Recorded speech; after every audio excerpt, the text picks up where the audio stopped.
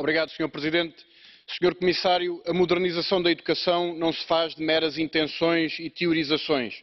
Não é possível uma escola moderna com o desinvestimento público que os senhores impõem desde o semestre europeu e reformas estruturais, orientada à privatização e elitização do ensino e resultando na dramática degradação do parque escolar.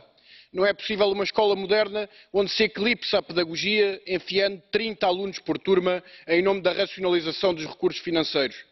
Não é possível uma escola moderna no desprezo e desrespeito pelos professores, sem as dezenas de milhares que em Portugal foram despedidos durante a Troika que vocês impuseram, ou fazendo desaparecer nove anos, quatro meses e dois dias de carreira para cumprir metas economicistas.